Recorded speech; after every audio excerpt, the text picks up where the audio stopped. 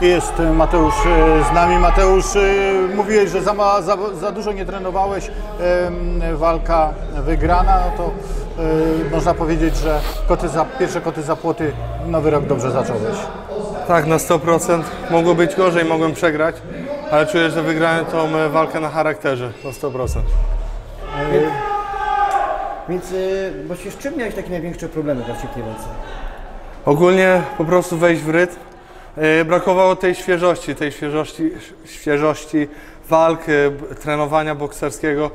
E, Ja miesiąc ostatni spędziłem na siłowni, to praktycznie wszystko. Z trzema treningami bokserskimi, łącznie ze sparingami to liczę. To tak szczerze mówiąc wiedziałem, że nie jestem w 100% gotowy na tą walkę. Jak teraz e, oceniasz e, przygotowanie, te, które wcześniej zrobiłeś? Mówiłeś o tej sile, o tym, co robiłeś. e, Troszkę to inaczej miało być chyba, nie?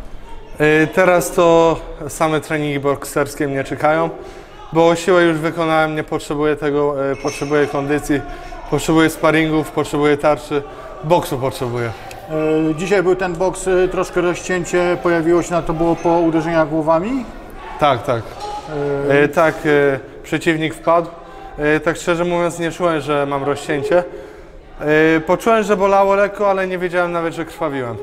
No, lekko pęknięta skóra to chyba nie jest nic poważnego na szczęście. Jak e, w związku z tym, jeżeli chodzi o sparingi z Michałem, które e, miałeś zaplanowane? Y, Zobaczymy, pogadam z trenerami. Wiem, że zdrowie jest najważniejsze, chociaż to jest bardzo duże wyróżnienie dla mnie sparować z Michałem.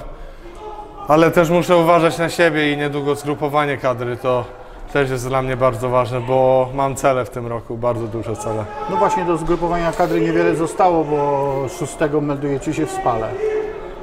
Tak, tak, ogólnie nie mogę się doczekać, jestem bardzo ciekawy jak trener Bartnik y, poprowadzi naszą kadrę. Y, Wrócę na chwilę do Twojej walki. Czy jakiś taki cios wyraźnie odczułeś ze strony Twojego rywala?